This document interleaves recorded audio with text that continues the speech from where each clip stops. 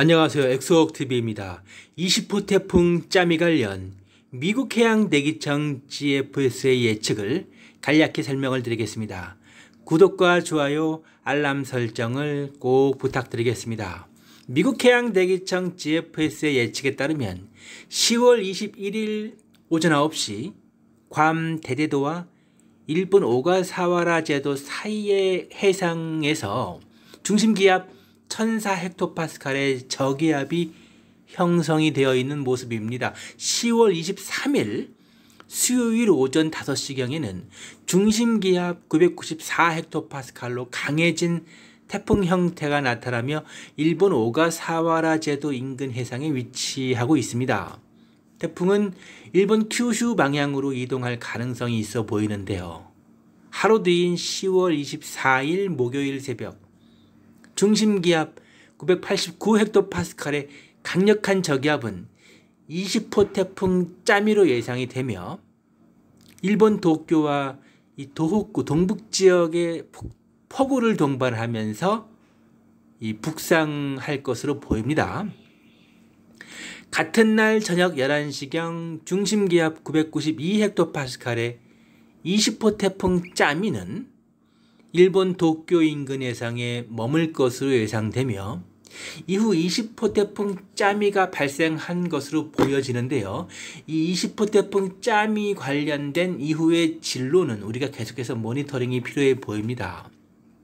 그리고 미군 합동 태풍 경보센터 JTWC를 살펴보면 XT92W를 추적 감시 중인 것을 볼 수가 있는데요.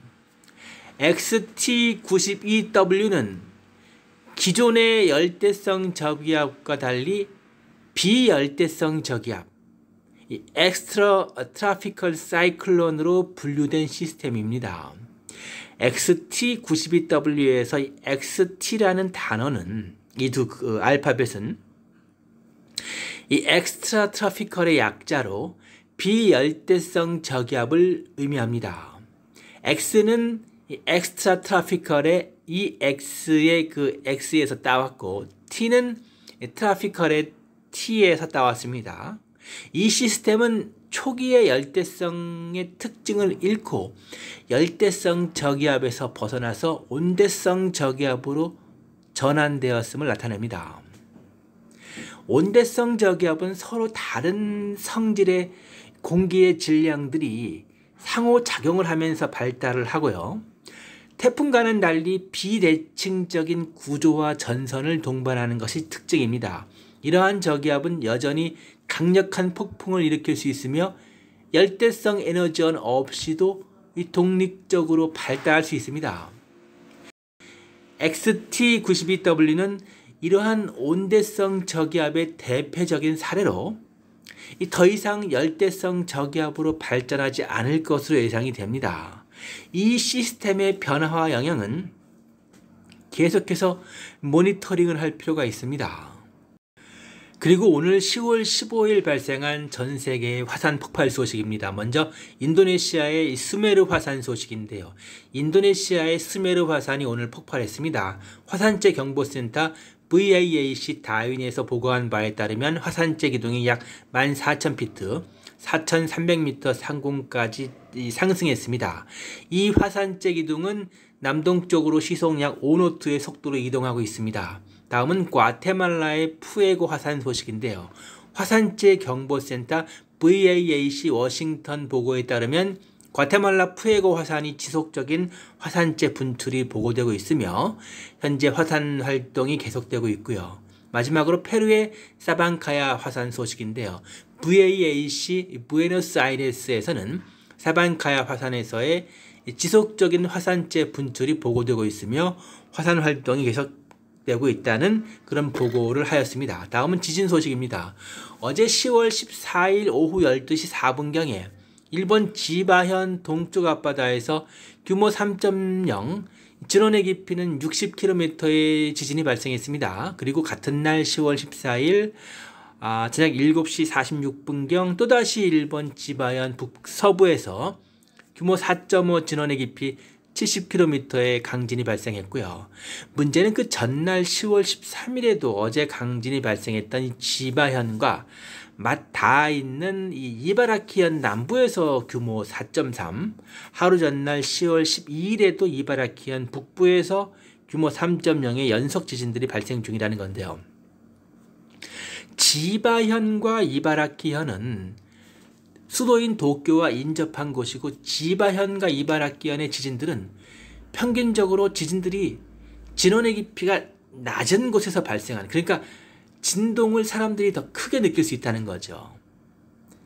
이 지역은 수도인 도쿄까지 인근 지역이기 때문에 영향을 미칠 수가 있고요. 도쿄는 지진에 취약한 지형적인 특성이 있습니다. 수도임에도 불구하고 따라서 최근에 지바현과 이바라키현의 연속 지진은 규모가 4클래스의 지진을 하더라도 이 정도도 어느 정도 규모가 되지만 굉장히 대지진은 아니지만 역시 위험한 겁니다. 도쿄에 영향을 줄 수도 있고요. 실제 아, 이번 지바현과 이바라키현의 지진 이후에 큰 땅울림 소리를 들었다는 얘기가 계속 나오는데요. 우리가 이, 이 부분에 또 주목할 필요가 있는 게 지바현과 이바라키현은 여러 개의 활성 단층들과 서로 연결되어 있고 이들 지역의 최근 지진들이 도쿄 인근의 다른 활성 단층에 영향을 줄 가능성도 있습니다. 특히 이 큰 땅울림 소리가 계속 난다는 얘기는 우리가 주목해 봐야 됩니다. 지진 전후로 해서 큰 땅울림 소리, 즉 이거는 지진의 전조음, 또는 지진파가 들린 후 큰 지진이 땅 발생하는 사례가 보고되고 보고된 경우가 많이 있습니다. 이 땅올림 소리는 주로 지하 깊은 곳에서 지각판이 이동할 때 발생하는 소리로 지진의 전조 현상으로 알려져 있습니다. 그 이유는 지각판이 갑작스럽게 미끄러지거나 충돌하면서 발생하는 에너지가 지표면까지 전달되기 때문입니다. 이때 피파, 그러니까 지진파의 첫 번째의 충격파. 이 피파는 공기를 통해 전달돼서 땅올림 소리로 인식될 수 있습니다. 큰 지진이 발생하기 그 전에 이런 소리가 들리는 것은 이 지각판이 이미 큰 압력을 받고 있다는 신호일 수 있습니다. 이거는 결국 뭐냐면 곧 더 큰 지진으로 이어질 가능성이 있다는 걸 의미할 수 있다는 겁니다. 이런 현상이 반복되는 이유는 작은 지진이나 이 지각판의 미세한 인도, 그 이동이 더 큰 지진의 전조 현상으로 작용할 수 있습니다. 즉, 땅, 땅 속에 깊은 곳에서 축적이 된 에너지가 서서히 방출되다가 큰 충격으로 폭발적으로 방출이 되면은 이 대규모 지진이 발생하게 됩니다. 따라서 이런 현상들은 지진 발생이 임박했다는 의미일 수도 있습니다. 따라서 최근 발생 중인 지바얀 이바라키현의 지진은 반드시 주의 깊게 살펴볼 필요가 있습니다. 또한 이틀 뒤인 10월 17일 저녁에 올해 가장 큰 보름달이 뜹니다. 슈퍼문인데요. 과거를 돌이켜보면 말입니다. 2011년 3월 19일에 달이 지구에 약 18년 만에 가장 가까운 위치에 도달해서 평소보다 더 크게 이 그 밝게 보이는 현상이 발생했는데요. 슈퍼문입니다. 근데 이 슈퍼문이 발생한 것이 3월 19일인데 3월 11일 날 이 동일본 대지진이 발생한 겁니다. 그러니까 슈퍼문이 발생한 전후로 해서 일주일 정도가 위험하다는 얘기가 있지 않습니까? 근데 슈퍼문이 발생한 지 대략 일주일 정도 후에 동일본 대지진이 발생했기 때문에 이제 이 슈퍼문과 동일본 대지진의 연관성을 주장하는 사람들이 있습니다. 하지만 과학적으로 두 현상 사이의 직접적인 연관성을 확실하게 입증하는 건 없, 논문들은 있습니다. 아, 그러한 연관성이 있다고 하지만 확실하게 입증을 할 만한 것은 아직까지는 좀 부족하다는 거죠. 이 달의 크기가 다르게 보이는 이유는 달이 지구 주위를 타원형 궤도로 돌고 있기 때문입니다. 이 이로 인해서 달과 지구 사이의 거리가 일정하지 않으며 가까워지면 이 달이 크게 보일 수가 있고요. 멀어지면 작게 보이는 겁니다. 이틀 뒤인 10월 17일 목요일이죠. 달이 가장 크게 보이는 이유는 지구와 달 사이의 거리가 평균보다 더 가까워지기 때문입니다.